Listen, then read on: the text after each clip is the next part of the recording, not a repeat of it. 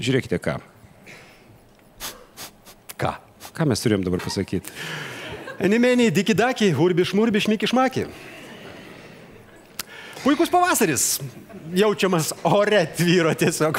Vytautas Man irgi pavasaris pasirodo. Jo. Taip, taip, taip. Taigi Violeta Tarasinė, aš Violeta nepažinau, nes Tarasinė. aš žiūriu, kad žiūriu jūs ir matau ją ir, ir, ir, ir, ir joje matau jūs. Vienas iš čia stovinčių džentelmenų yra Violeta Tarasovienė. Palauk, palauk. Bravo.